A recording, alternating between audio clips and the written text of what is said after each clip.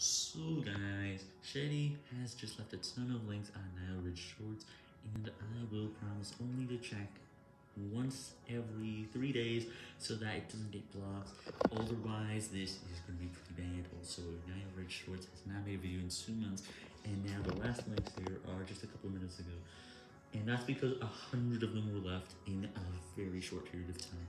And the reason I did that was because to increase my views and I think this is going to be really good. And you can always use an older video to promote your own content or whatever you do.